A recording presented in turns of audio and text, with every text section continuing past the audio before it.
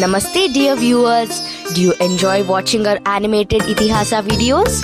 Kindly subscribe to our YouTube channel, Itihasa series, and share the video with your family and friends. We are also on Facebook, Instagram, and Twitter with the same ID. You can follow us there too. The links are in the description box. Let us know your views and suggestions in the comment section below.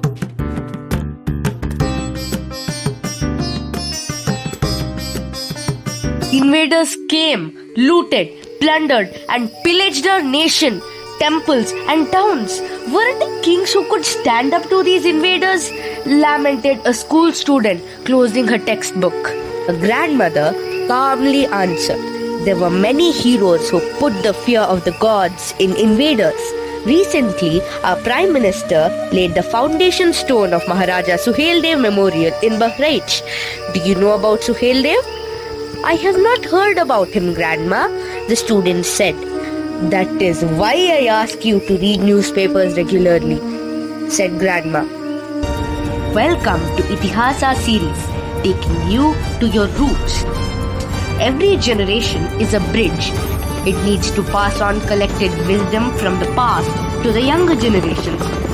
Let's get informed and inspired by Itihasa. In the year 1026, Mahmud of Ghazni and his barbaric hordes attacked India repeatedly.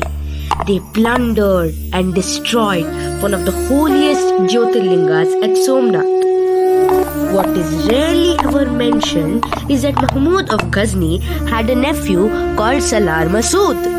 Salar Masood saw his uncle's massive loot from across the Sindhu river and started dreaming about a pillaging expedition to India as much of a religious zealot as his uncle.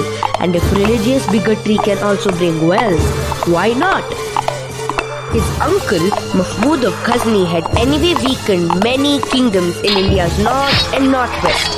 I can walk over all these tired and divided kingdoms, he thought. But unknown to him, anger was brewing in some kings in India at the insult to one of the holiest places. One of the angry Indian kings was Raja Suheldev, who ruled a relatively small kingdom, Shravasti. Meanwhile, Salar Masood fought and defeated kings in Delhi and Punjab and moved towards Meerut where the king surrendered and accepted Islam. He marched through Kannauj and Malihabad too and arrived at Satrik in Barabanki. There is a place in Bahraich called Suraj Kund, which is famous as a place for the worship of Surya or the sun.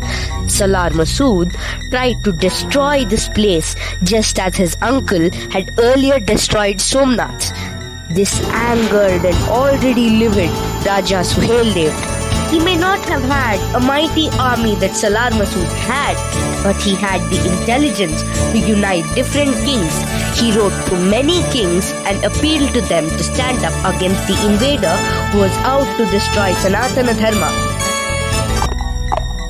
As these kings came together to attack Salar Masood, the sight of the united army gave Masood cold feet. He resorted to playing some dirty tricks. He planned to put cows in front of his army, thinking that the Hindu kings would attack the cows and hence would have to beat a retreat.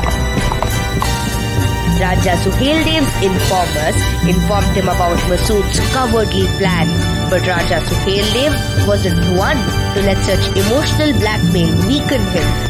But he wasn't one to hurt the cows either, so he found a smart way out. He cut the cows free in the dead of the night and sealed Salar Masood's fate. On the day of the battle, Salar Masood, along with his army, had a wicked smile when the war began. The united army of Indian kings charged and the cows ran away, leaving Salar Masood's army unguarded. His false confidence sunk and Salar Masood witnessed the fury of the Indian kings.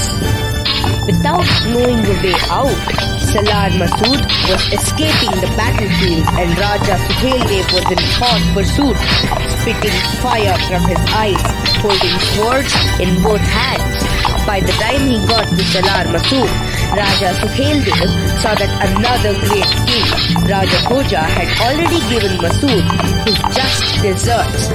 We will bring you the story of Raja Bhoja in our coming episodes. United army of Indian kings, united by the visionary Raja Suheldev, routed the army of the invaders. No prisoners were taken and all the aggressors were put to the sword. The story of Masood's gory end spread like wildfire and for the next century or so, invaders shuddered to even look towards India. Muslim sources too mention no further raids of Ghaznavids.